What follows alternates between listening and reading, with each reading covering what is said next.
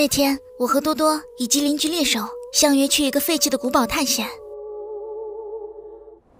当时天很冷，我们很早就出发了。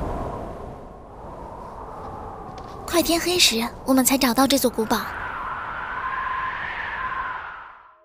这是一座古老阴森的旧建筑，里面有无数黑洞洞的房间。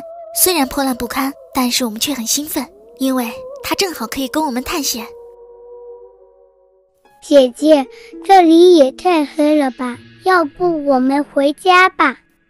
臭弟弟，不是你喊着来探险的吗？说自己是世界上最胆大的人，你瞧瞧，这刚进来就要打退堂鼓了。哼，我才不怕呢！我钱多多是世界上最胆大的满级小孩。哎，行了行了，姐姐相信你。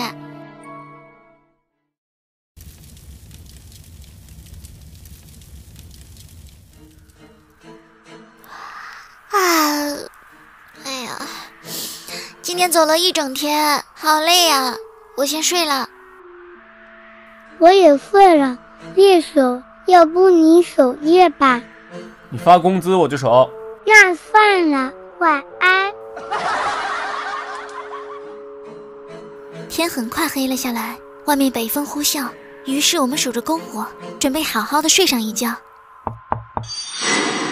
半夜里。我突然听到房顶上传来砰砰的声音，好像有人在房顶上走动一样。我想上去看看，但是又不敢一个人去。多多比我还胆小，于是我想叫醒猎手跟我一起去，但是他却睡得很死，怎么叫都叫不醒。我站起来在房间里看了看，也向窗外看了看，却什么也没有发现。